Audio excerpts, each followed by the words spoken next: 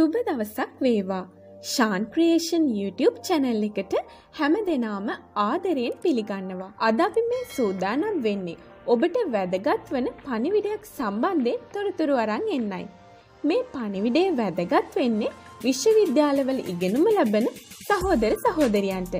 විශ්වවිද්‍යාල ආරම්භ කිරීම පිළිබඳව විශේෂ දැනුවත් කිරීමක් තමයි මේ. අවුරුද්දෙන් පසුව මේ වන විට වසා දමා තිබෙන විශ්වවිද්‍යාල ආරම්භ කිරීමට පියවර ගන්නා බව විශ්වවිද්‍යාල ප්‍රතිපාදන කොමිසන් සභාව ප්‍රකාශ කරලා තියෙනවා. COVID-19 වෛරස් තත්ත්වය හේතුවෙන් විශ්වවිද්‍යාල බොහෝමයක් වසා දමා තිබුණා. ඒ වගේම දැන්වන විටත් විශ්වවිද්‍යාල සමහරක් ආරම්භ කරලා නැහැ. ඒ අනුව අවුලුත් අවුරුද්දෙන් පස්සේ වසා දමා තිබෙන විශ්වවිද්‍යාල ආරම්භ කරන බවයි මොවුන් ප්‍රකාශ කරන්නේ.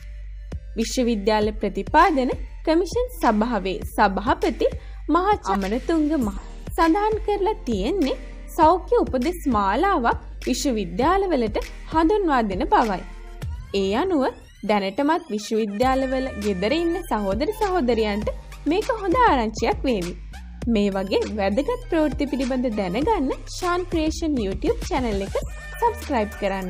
ඒ වගේම මේ වගේ වීඩියෝ හැමදාමත් බලන්න අපිව බෙල් අයිකන් එක ක්ලික් කරලා තියාගන්න.